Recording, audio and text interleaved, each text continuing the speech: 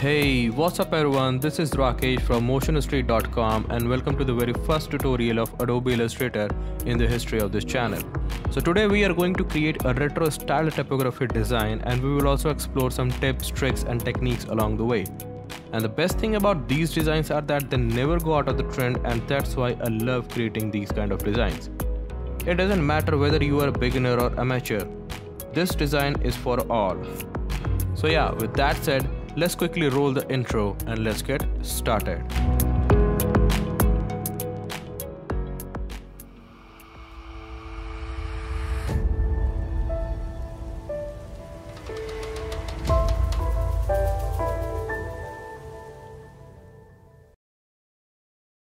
Alright, so here we are in Illustrator. Let's create a new artboard and we will call it as creative and the dimension of 1920 by 1080 looks good to me and the units in pixels and the orientation type as landscape mode. But if you want to keep it as portrait you can simply click on this icon.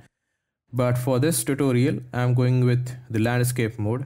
And if you want to see some other settings also you can simply click on this advanced options and it will show you some more settings which is best to keep the settings as default. Now simply click on create and then there is the artboard. Okay so first thing first that i'm working inside this typography workspace because i mostly work inside this one but of course you can work inside any of your choice right? The second thing is that we have few colors right here which we will be using throughout the design and we won't be introducing any color other than these six right? And the last thing is that we also have a texture that we will be applying at the very end of the design now let's quickly turn it off for a while and now let's quickly proceed with our design. So first of all take the rectangle tool or hit M on your keyboard to select the rectangle and then we will make a rectangle something like this same as the size of our artboard. And then take the eyedropper tool or you can simply hit I which is a shortcut on your keyboard. And we will pick up the color from this circle like this. And then we don't have to work with this layer anymore so we can of course lock this layer up and before locking let me uh, now tell you something that this blue dot indicates that which layer you have currently selected right so now we can just simply click on it and the layer is now locked and we cannot move this layer or select the layer anymore right and before we proceed further with the design, let me tell you that if you want to follow along with this tutorial, this entire Illustrator file is available to download from the link in the description. So make sure to check it out. Now simply select the text tool and let's type in anything you want. So I am typing design and let's increase the font size. So go to the properties and we will increase the font size to around 300 or so. And for the font, I'll go with Mustardo, which is basically a free font available on the internet, or you can also download it from the link in the description. Now, uh, open the paragraph and we will align this into the center. Uh, let's decrease the size like this and then align this into the center of our artboard. But make sure align to artboard is checked right? Okay so now this is going to be very interesting because the actual concept of this design will start from here right? So simply select the text layer and we will move into this appearance panel. And if you don't see this uh, icon right here you can always go to the window and make sure the appearance is checked right?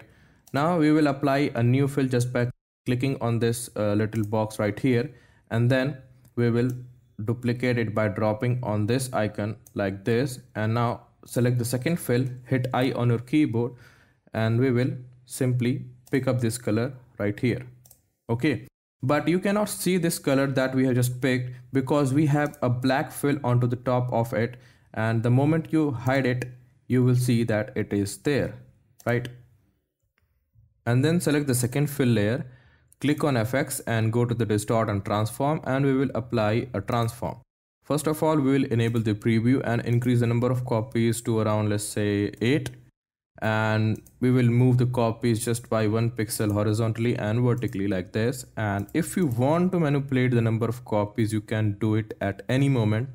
But for this uh, now design I'm going to keep it at 8 now we just have to simply duplicate the layer again just by dragging on this icon and select the third fill, hit I, pick up the color from this circle open it click on transform and click on preview again. And we will just increase the number of copies something just like this. Yeah I think 30 looks good. And then hit OK again duplicate the fill layer just like this. Select the color hit I and pick up this color from here. And now open up the fill and let's make the room first.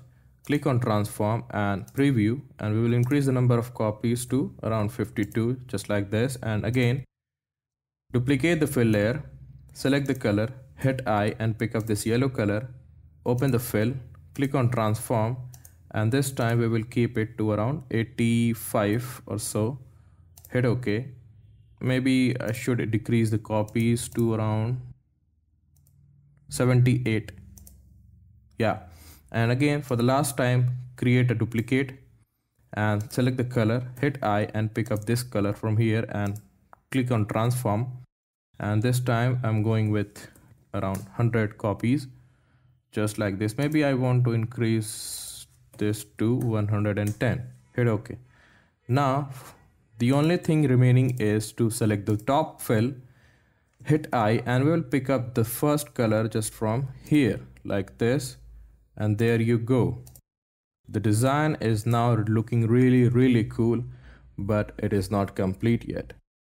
Because we are going to make it look even more cooler right? So simply select the layer hold alt on your keyboard and we will create a copy of it just like this and then open up the appearance panel and we will select all of the uh, fills excluding the first one and we will get rid of all of this by dropping into this bin and then go to the objects objects and click on expand appearance. Again go to the objects click on expand this time and make sure the objects and fill is checked. Now hit ok and then open up the pathfinder options. And if you don't see this pathfinder right here you can always go to the window and search for the pathfinder and make sure this is enabled right? And then click on this unite.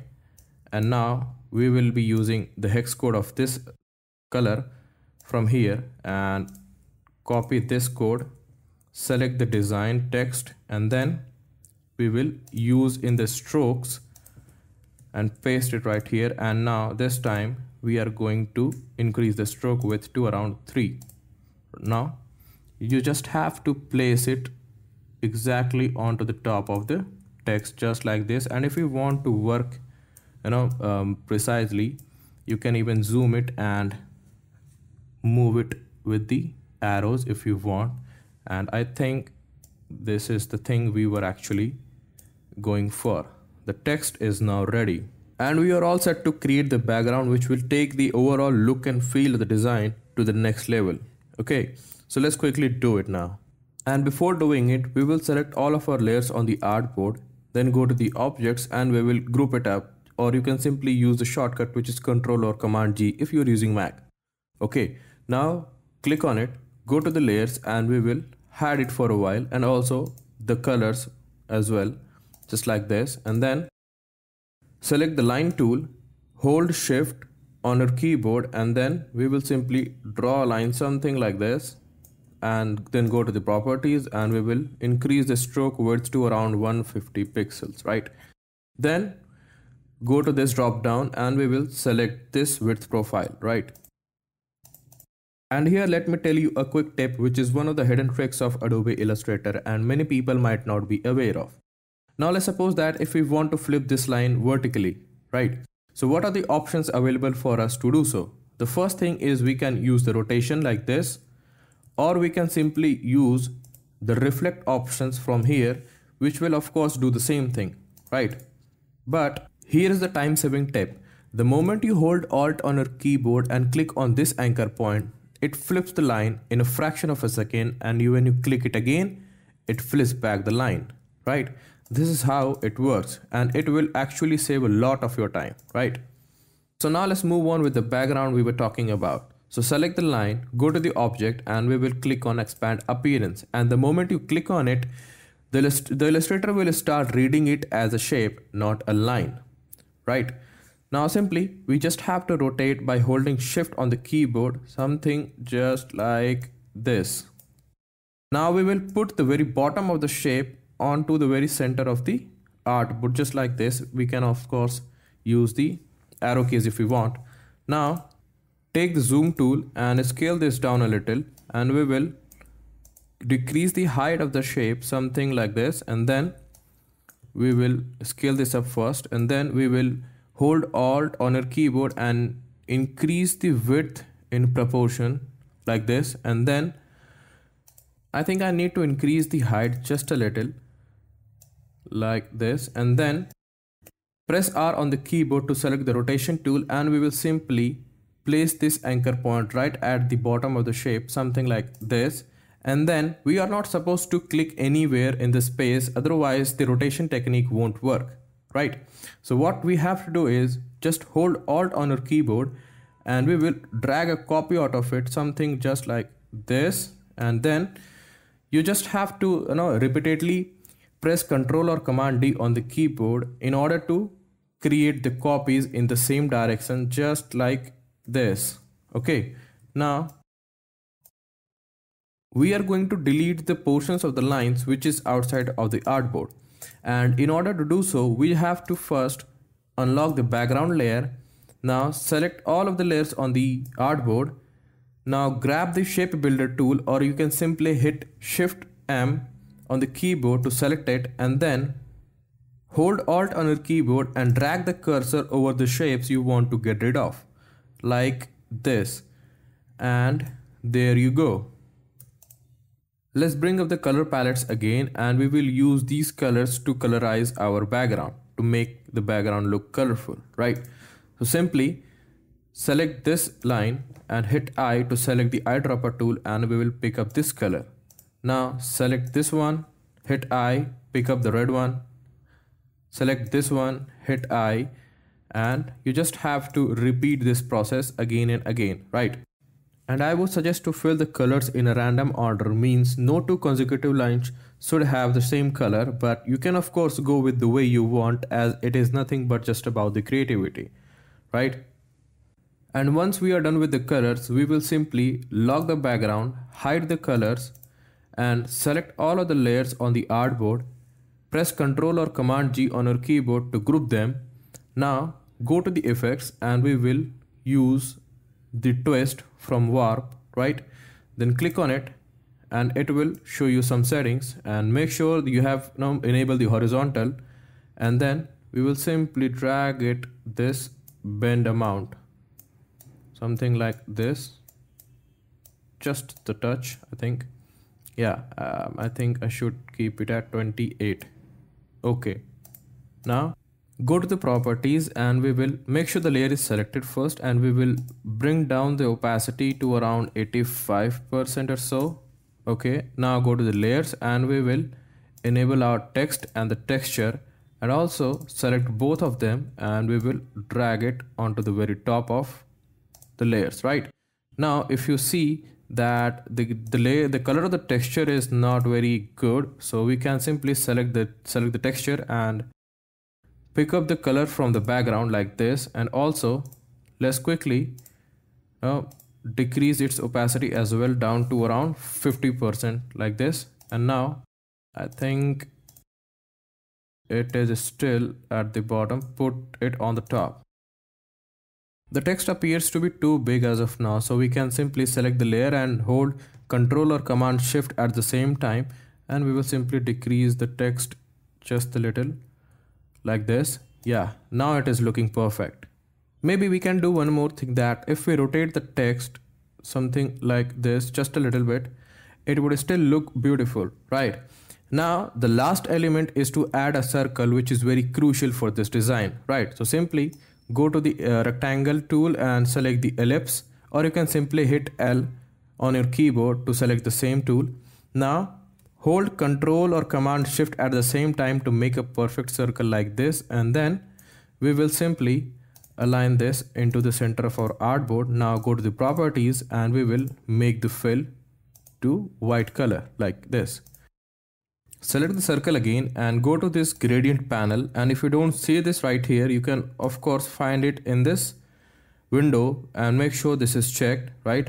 Now open the gradient and then click on the type and we will set it to radial. Now double click on this color and we will pick up the white color. Now select this one and we will bring down the opacity all the way to zero like this. And then we will simply just put it right below the text I think. Yes there you go. And at this point of time our design is now almost ready but it seems like we need to do some adjustment and corrections to achieve the final output. Right? So let's quickly do it. So first of all let's select the layer and we will move this by using the arrows little bit up like this. Yeah? And also we will rotate it little more I think this this looks good now yes. And now select this background and we will decrease the opacity down to around 70% and then the opacity of the texture we will also be decreased by 10% now and if you still feel like that my design is looking empty or it has some kind of word in it then you can of course place some text on your design like the way I have done it right here and I think I need to place this onto the top as well right? And this is how you can remove this space or the word that you feel right? Now let me tell you something very beautiful about this design.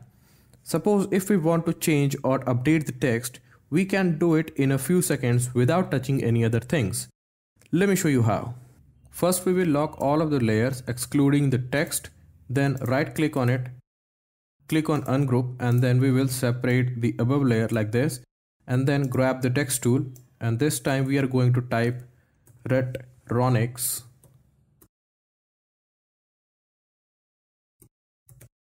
Retronics and then we will create a copy of it go to the appearance panel and we will delete all of the fills excluding the first one and then go to the object click on expand appearance object expand once more at OK. Now go to the Pathfinder and unite it. Now take the eyedropper tool and we will simply capture the properties of this layer. And then we just need to place it again onto the top just like this. And again just use the arrow right? Now there you go. You just updated the text in just a few clicks right? And let's delete this layer. So our design is now complete and we just saw the entire concept of how we can create these kind of retro designs and poster in just a few minutes. But you can still take your time and add some more details to it. It all just depends on our creativity. The more you use it, the more you will have. So yeah, that's it for today guys. I hope you really enjoyed this tutorial and learned something new. And if you really did, then make sure to hit the like button, subscribe to our channel and also press the bell icon so that you never miss any creative upcoming tutorial. And lastly, don't forget to follow me as Motion Street on Instagram and I'll see you in the next video. Till then, keep dreaming, keep creating. Peace out.